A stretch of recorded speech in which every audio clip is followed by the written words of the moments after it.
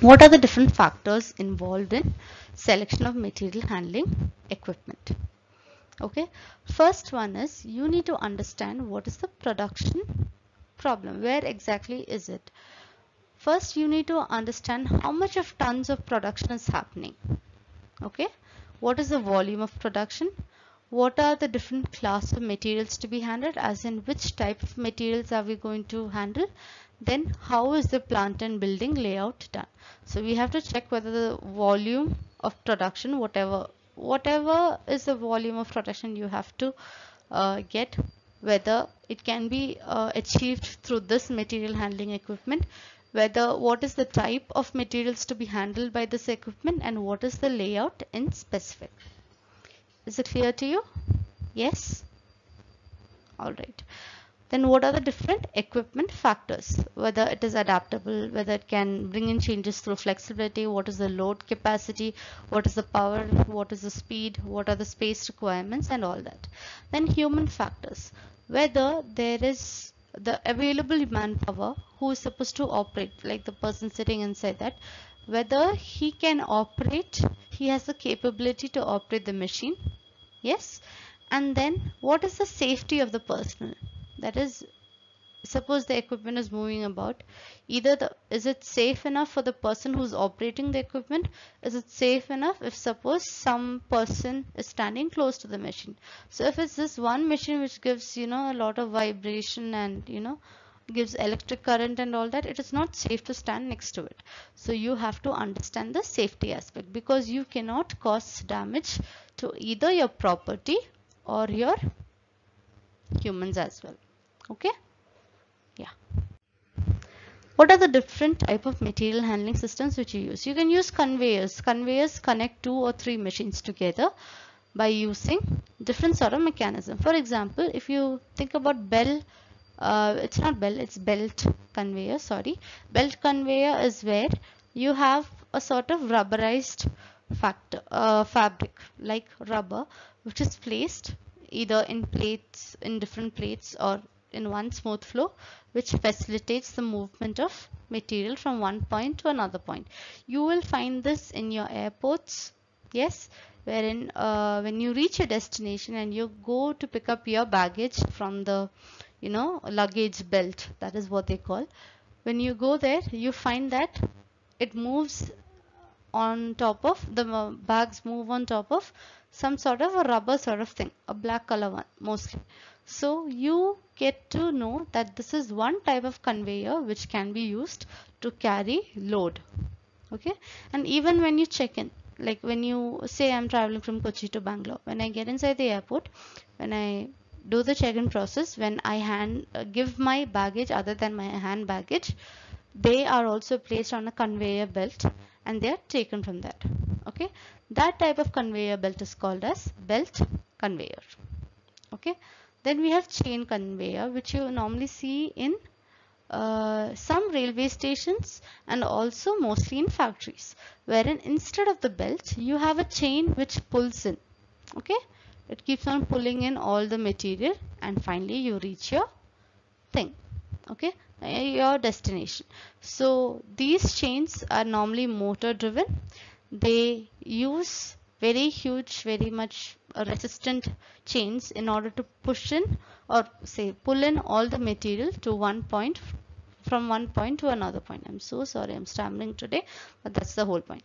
Then roller. Roller is where uh, like the picture shown there are certain rollers which is kept in which facilitates the movement. So as each one turns and says the other also uh, like if one turns we have learned it in physics right? If one wheel turns the other one which is close to it also turns and the third one also turns. Yes? Yeah. So in the same way rollers are placed side by side and the material moves like the one shown here. First one moves it adds on to the second one third one and that is how the material moves in. Then you have uh, pneumatic conveyor. Those are your huge pipes the huge pipe wherein the material goes through air. That is it's not like it can travel on its own no. You exert a force on it in the pipe which carries the material.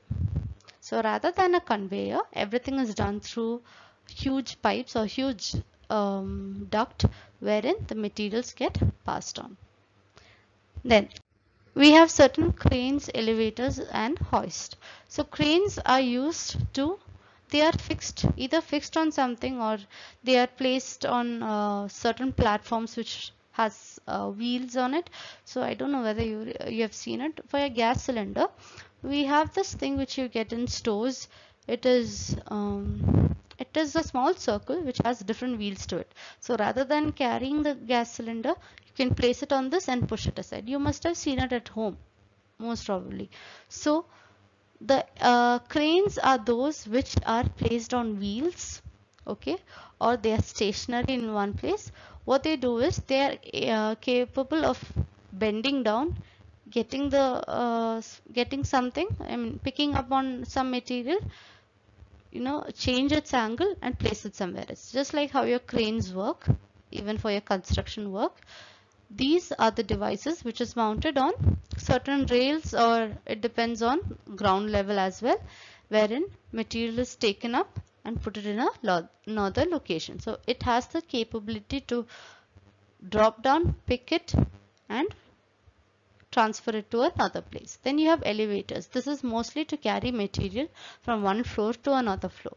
Elevators are easy to carry. See like the picture is shown, it's not actually fit for human uh, travel but with respect to materials and other uh, equipment elevator is a easier method to carry things between floors then hoist hoist is uh, it just lifts up the material before you move to one point yes so it works like your crane but normally you find it on the ceiling yes and it has got this hook sort of thing which either picks it up in a vertical manner or transfers it somewhere else. Okay, so these are your hoists. Your hoist and crane is similar, but the way they function is a bit different. So these are the three things with respect to one set of um, equipment. Those are normally overhead. You find it lifting up something and placing it somewhere but the other one conveyor just shows a normal horizontal movement is it clear to you yeah okay industrial trucks. These trucks are normally operated by someone or they are uh, operated by a human personnel or they move on their own pre-programmed thing. Maybe the task and the way they should move is already fed into the system and they move uh, because of the technology advancement and on all that. But some of them are also man powered so these uh, sometimes are electric they are diesel they're gasoline or any other uh, liquefied uh, petroleum or any other gas powered vehicles. And some examples are forklift trucks pallet trucks tractor with trailers hand trucks and power trolleys. So these are the small sort of vehicles which move in and around the organization. Then we have auxiliary equipment. Those are the equipments which is attached. For example if you see the picture in that conveyor belt you have got different brushes okay? Which either wipes it clean or does some other function. So these are the help auxiliary we mean by saying helping machines which are attached to the machine conveyor which facilitates the movement of materials. Okay? And uh, these are mostly like your rams positioners pallets containers and turntables. Now with respect to this uh, this is the end of the topic uh, all right this is one topic which did not come out right uh, it was not included in the slides but yes um, this is just one thing which was left out so the criteria for selection of material handling equipment there are certain criteria which you have to follow in order to see what is the best equipment. The first one is properties of the material. Properties can be, it could be solid, liquid or gas. Uh, the way you carry something, uh, a material which is gaseous in nature would be through some cylinders, right? Through some containers. And the way you carry a liquid would be say through huge beakers, yeah and the solid would be in certain carton boxes. So based on the type of the raw material, you have to decide which equipment should it go for. Is it clear to you? Then the layout and characteristics of the building are very important. What we mean to say is, suppose you need to use certain huge cranes in, you know, moving about in a factory. Yes. And if your ceiling is very low, it is very difficult to, it is uh, almost close to impossible to uh, navigate through huge cranes rather what you can do is you can increase the ceiling. Now sometimes people might feel okay the areas where the material uh, equipment is supposed to move we'll just add a pillar or something and elevate it. Let the rest be under the low ceiling. But that shows not a very good clean image or a clean view of the factory. Rather based on your requirement on what sort of material handling equipment will you use you will have to decide on how to have your building or layout. Then the production flow. Production flow, whether your production happens from left to right or it happens over and over again. Whether it goes here on top, whether it goes top, it goes left to right, right to le uh, left. So if it is one and moving in one direction, it is easier because you can program your equipment to move through one direction. But if it is something which goes two ways or goes on top comes back down and all that based on those again you will have to fix or get a equipment which can move in almost all the directions in a very short span of time. Okay? So based on your production flow you have to decide what type of equipment to use. Cost considerations. Very important every organization right from chapter 1 we have been listening to the word cost cost each time. Every organization tries to reduce the cost. Cost cannot be eliminated. You will incur the cost but you can suggest or you can do measures different uh, adopt different measures to reduce the cost. So what you can do is there are two main costs we have discussed which are involved in equipment. One is of getting the uh, you know owning the equipment which is your purchase cost and the cost of operating your fuel expenses all together. So you need to consider the different cost. Whichever equipment comes in good quality but at a lesser cost it is wise to go for such equipment. So it is very important to understand what is the cost factor involved. What are the nature of operation? Whether production happens 24 into 7 like in the case of chemical factories or petroleum factories or uh, what was it? Cement factories where production happens all throughout 24 7 you need an equipment which runs 24 into 7 yes? But for one which maybe happens uh, production happens only for some two or three days during a particular day your equipment should have a capacity of working only during a very shorter period of time. Otherwise it sits idle and it adds on to your cost right so based on the uh, type of operations which you do whether it is continuous intermediate or you know batch wise or fixing to some particular time frame based on that you should get your equipment. Then engineering factors. When you have two or three floors in your factory you have to understand each floor has a particular load capacity. Maybe the first floor has a load capacity of say 20 tons of any sort of equipment.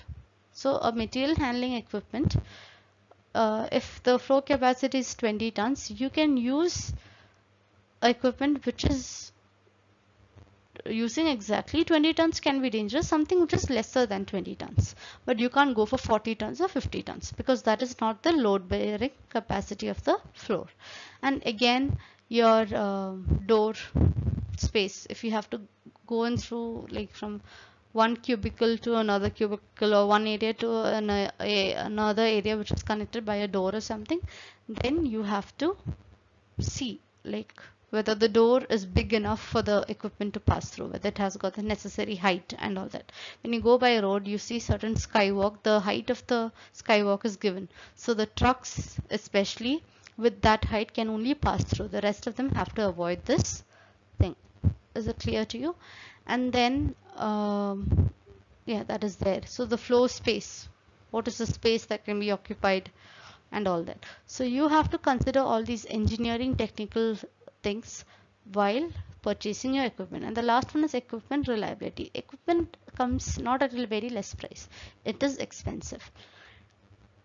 You don't go to a shop. You don't get a you like if you plan to uh, get a fridge you don't go you go and check the specification and see whether it is meeting your needs. Only then you'll purchase the order and get it home. Once you get it home, it's not like okay this fridge is bad let me purchase another one tomorrow no one does that right no one in the correct mind would do, uh, do that okay so in the same way you should have a very much scrutinized analysis of how good that equipment is compared to the other one. Is it is it clear to you? So you will have to compare the reliability of your equipment with the other equipment and then decide whether it is actually good for your requirement or not. So this is what material handling and your entire chapter is all about. Yeah